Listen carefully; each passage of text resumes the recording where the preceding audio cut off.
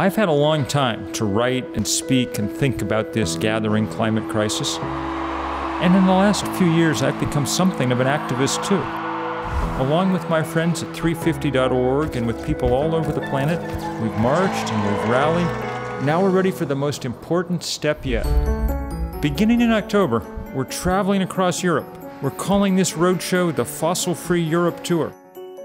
And we'll be doing some math really the most important math that you'll ever hear.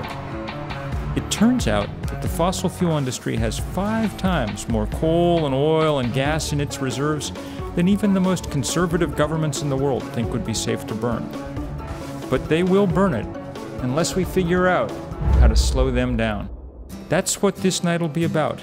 It'll be a special evening with the rotating cast of speakers and musicians and video.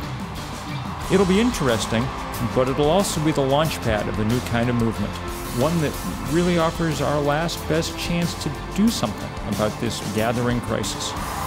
Join us.